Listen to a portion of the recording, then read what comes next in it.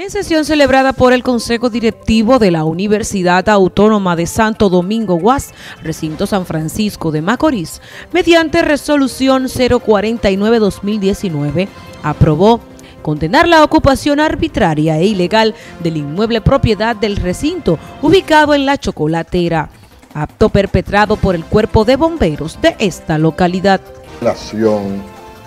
a la ocupación ilegal arbitraria, desconsiderada contra la Universidad Autónoma de Santo Domingo que han hecho las autoridades del, del Cuerpo de Bomberos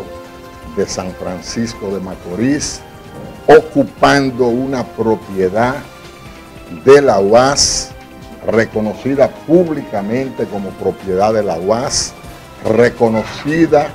por el propio cuerpo de bomberos como propiedad de la UAS, porque insistentemente han estado solicitando que le hagamos la entrega, incluso se comunicaron por escrito con la rectora magnífica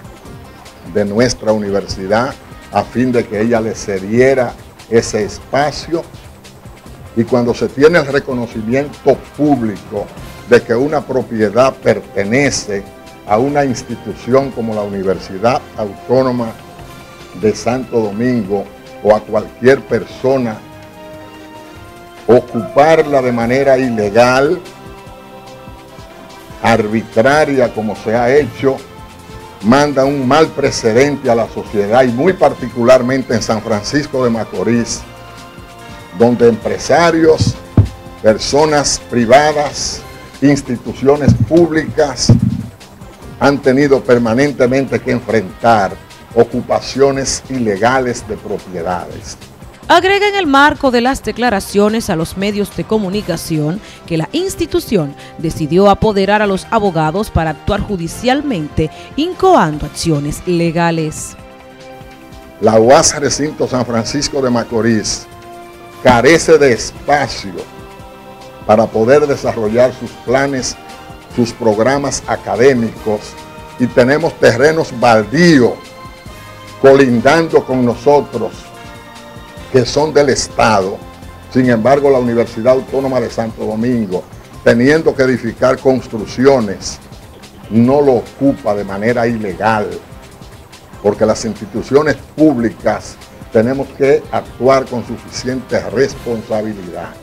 Esta gestión que es relativamente nueva, tiene planes en lo que se le llama el local de la chocolatera, que es el que ha sido arbitraria y legalmente ocupado. Tiene planes. Reitera la universidad, no va a ceder por la fuerza, acudirán a otras instancias. A Fondearte, que viene a impartir cursos para artesanos como continuación de la feria artesanal que fue montada aquí y por la asociación que ha hecho la universidad con la cooperativa de artesanos de la República Dominicana y con la asociación de artesanos y están violentando el derecho que tienen los sectores populares de San Francisco de Macorís de que la UAS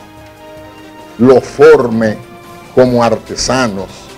Para NTN su noticiero regional, Joanny Paulino.